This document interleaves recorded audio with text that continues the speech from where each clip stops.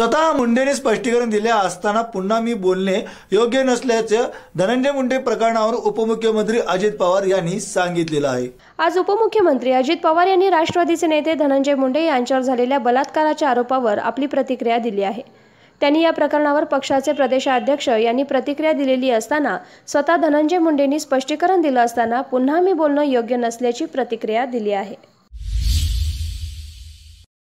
त्या संदर्भामध्ये आत्ताच मला प्रांताध्यक्षांनी स्वतः सांगितलं की त्यांनी स्वतः नवाब मलिक साहेबांनी दोघांनी त्याबद्दलची भूमिका स्पष्ट केलेली आहे. एक जण पक्षाचे मुख प्रमुख प्रवक्ते आहेत आणि एक प्रांताध्यक्ष आहेत.